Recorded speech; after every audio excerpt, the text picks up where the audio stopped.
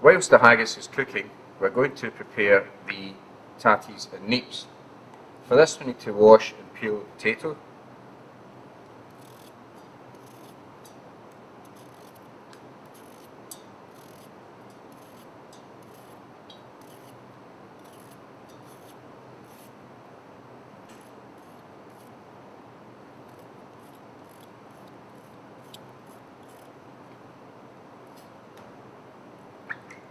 Rewash the potato and we're going to cut it into smaller pieces. This will be added to water with some salt.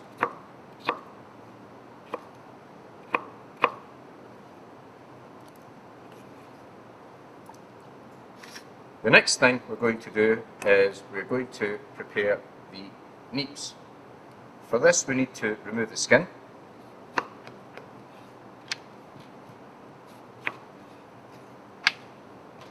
Using a sharp knife, cook's knife, remove the thick outer skin.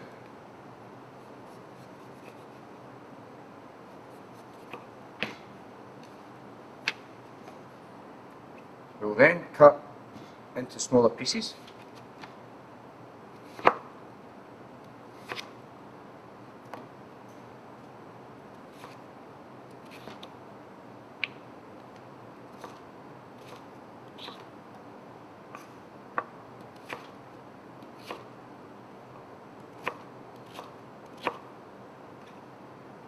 Again into water.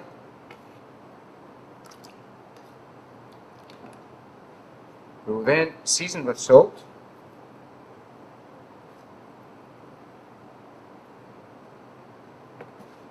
We then have to boil these until tender.